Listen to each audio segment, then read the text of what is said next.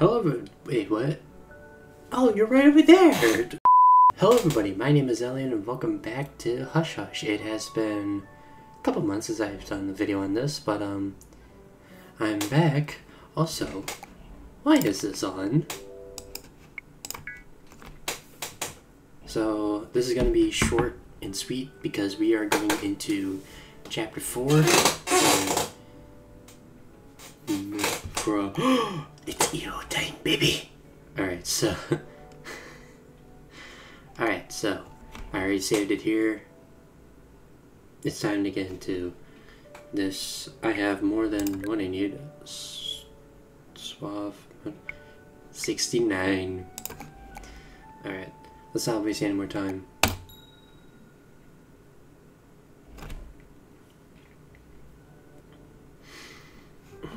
It's a quiet night as you're driving to the restaurant. Hold on, let me turn this up a little bit. Start over. It's a quiet night as you're driving to the restaurant. There's a weird humidity in the air, but the breeze off the ocean is strangely cold. You're right next to the ocean. A few drops of water on your windshield suggest the water the weather might have secret plans for you. But for now, the clouds stay silent. As you round a corner, a car passes you in the opposite lane. You catch a glance in your rearview mirror of the car doing a 180 turn and following you.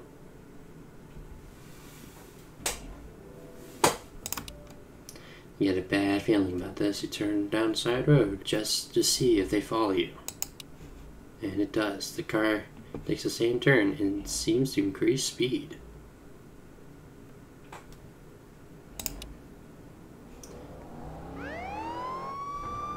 You hit the gas, looking for a good place to turn back.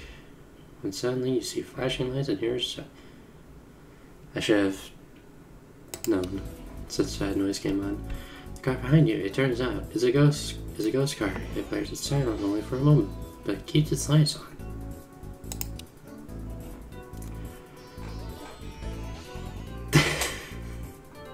I was gonna say something. I am currently recovering from a cold while recording, so you're gonna hear some some of me flaring up my phlegm, coughing up phlegm. You pull over on the shoulder and wait. The police car pulls up behind you, but the cops don't exit the car for a long time. Finally, after almost five minutes of the police car looming behind you, you see the doors open. Out Fumi, also an officer, in a much fancier uniform than you expected. I'm getting chills. Oh why. You only see You only get a split second to look at the officer before he taps your window. The man is obviously much older than Fumi, and of As Asian ancestry. Hmm. His name text says S. Colossi. Good evening. Do you know why I pulled you over? Was it the speeding? I bet it was the speeding. It's always the speeding. No, not tonight. But you never know. Things might still work out that way.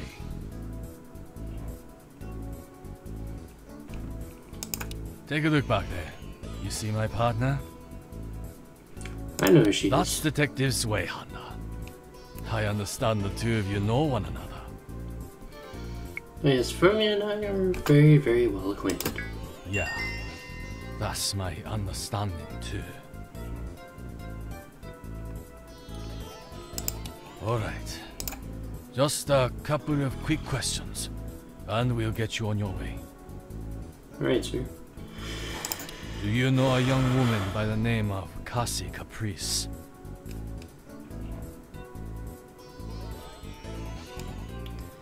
Yes, Cassie and I are pretty good friends. I see. That's good to hear. That girl could use some friends with her best interests at heart. She had a rough past. I'd hate to see her life turn upside down again. Yeah. You must be pretty popular with the ladies around town, yes? I mean, Sonic's here, so guess I am kind of popular with the ladies. Even that one, I don't want to mention, but According to witnesses, you've been seen around town with one Mio Faro.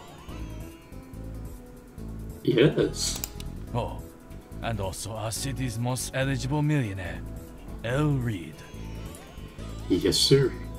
Are both of these women friends of yours too? This is the tra- strangest traffic sh- stop ever. Yes, I know them. Um, yes, I know them. Oh, I would hope you know them. They're nice. I don't know about you, Detective Suehanda, but I don't tend to make out with strangers.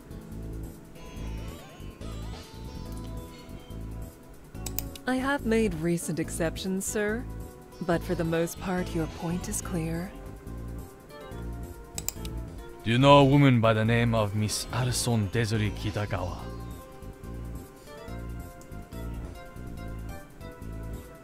Miss Desiree. And are you aware that she and Mr. Cassie Caprice are involved in the transport and distribution of illegal narcotics?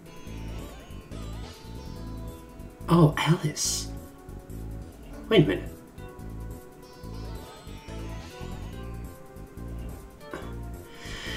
That's too weird to think about. That's quite the accusation. And that doesn't answer my question. Listen carefully. I'll lay it all out for you. Yes, sir. You're on your way to a date. Yes? You're meeting a Miss Iro Kawase tonight. Is that correct? Yes. Good. Honesty. That's what I like to see. What are you saying? I've got witnesses that puts you around town with Miss Caprice. Mm-hmm. As well as some interesting security footage from the mall. I've also gotten some first-hand accounts that you've been seeing Miss Kawase. Apparently, the two of you are quite intimate. Ring a bell? You're Sati Kawase, Iro's father. Why, yes, that's right. Nice to meet you. Generally, we're more careful with this information. But I feel like maybe it'll help you make the right decision here tonight. Miss Caprice is a CI, a criminal informant. She's helping us with a case, a big one. Not a big fish in her net. Maybe you're close to getting scooped in that net. Maybe you're not. But here's what I know for sure. Starting tonight, you're going to stay away from my daughter. You're going to break things off with her. Let her down gently. And you're going to leave town. Or I'm going to bring Miss Caprice in. Hit her with trafficking, grand larceny, break and enter, possession with intent to distribute. It's a long list. Maybe a few things fall onto you too.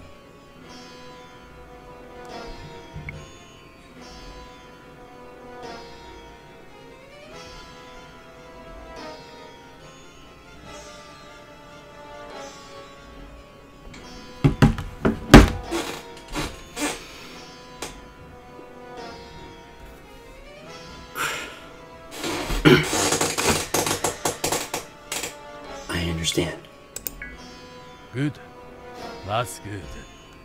I was hoping that's how you would see it. Officer Kawase looks to Detective Fumi and nods. We're done here.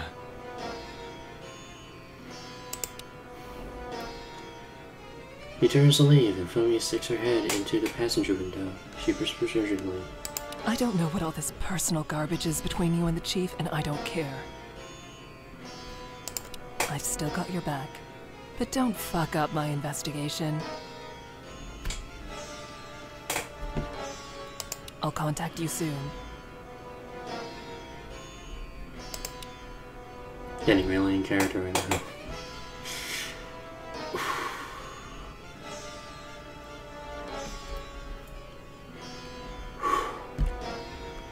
Fumi walks back to the police car.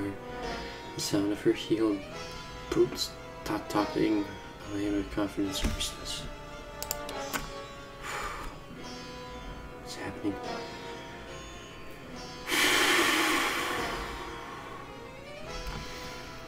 A moment later, the police lights go on. And the ghost car pulls a U-turn and drives off.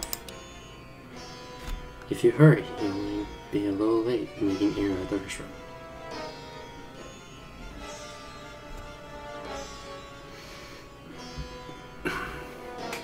I'm feeling a, that a little bit. Go.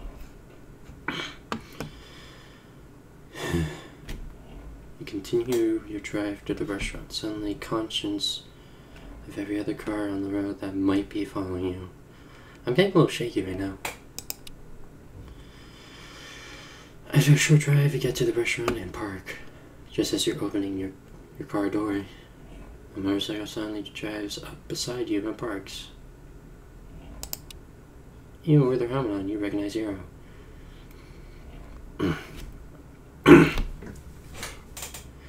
She's wearing a bike jacket and a cute dress.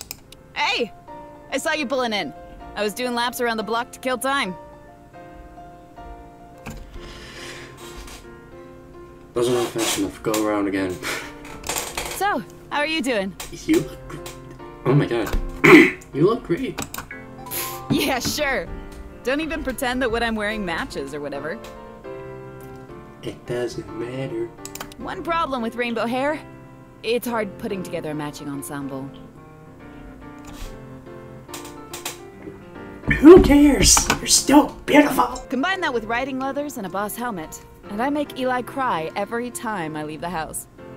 Yeah. But you know, whatever. They're just clothes. They won't serve us without them. Do what you gotta do. Yeah. Anyway, let's go. Do the date.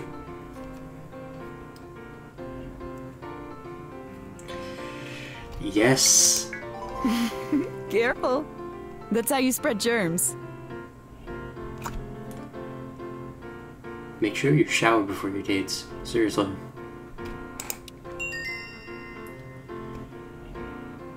I, I don't want to say it, I can't. Mira blushes immediately and she gently swings her arm as the two of you walk inside. Inside the restaurant, the atmosphere is intimate and warm. Live music is playing somewhere, and the smell of garlic and butter fills the room, and it's all filled with the world event, the piano version of the World Adventure from Sonic Unleashed. Great song, by the way. The Mate D, the Machide D, takes your name and immediately instructs you to follow them to your table. Iro follows you, but her eyes are wandering around the rest of the room, taking it in. Wow. You know, I've never eaten here before. I'm more of a kale salad at home kind of gal. I have. No. Hmm, everything looks expensive. I gotta watch my money too.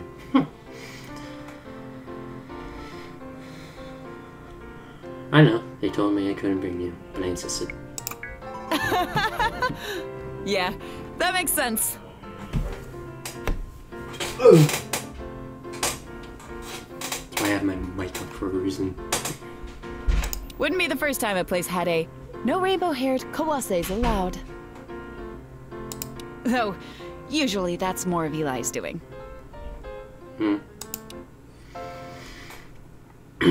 After the two of you are seated, you notice that Iro is staring at you with a dreamy smile.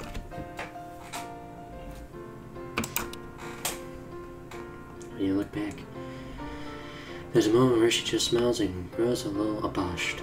She blushes and laughs nervously to herself. Hey, so there's something I've been wanting to talk to you about. About the other day, at the beach house. That was fun.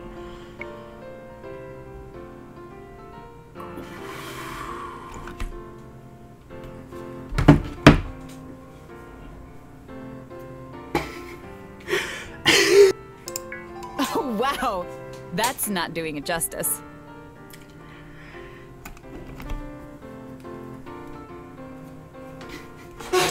It was mind blowing. You win over my answer. It was like not eating all day and coming home to the smell of bread baking. I didn't realize how hungry I was. How much I needed. Well, how much I needed that thing you did with your tongue. and I need to ask you Did you want. more? I mean, do you want to be more than friends?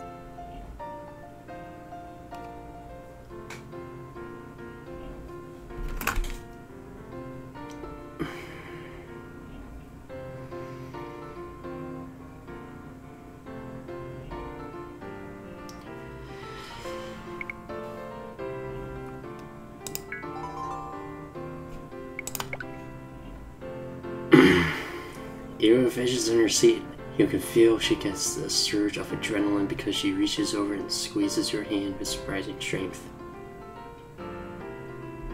Like that one moment in Sonic Movie 2 where Knuckles crunches Sonic's hand. I want you so badly. I know that when summer ends, you'll be heading home.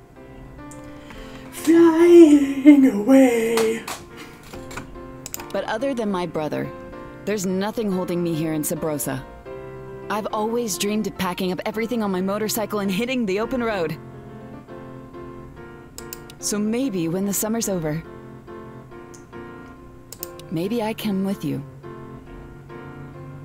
And it might work, and it might not, and whatever. But I'm excited to try. Adventure! What do you say? Do you want to see where this goes?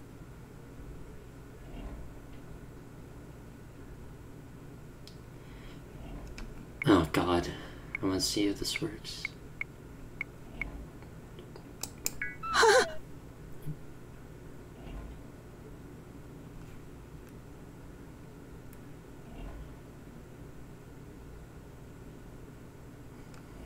Please. I know things will be hard, but. Is it me? You don't want me? Did I. push you away?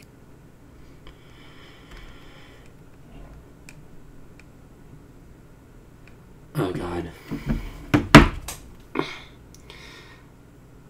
I'm not who I say I am. Everything you know about me is a lie. No! I don't believe that! I know you've been with other women, but. I know you're a good person. Just tell me the truth. Why don't you. Why don't you want me? Tell me.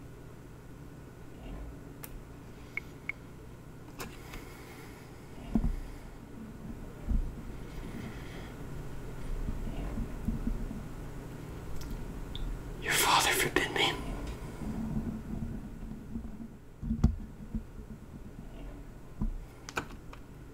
What did you say?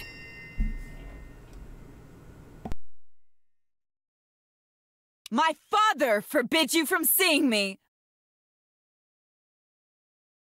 And you're just doing what he says?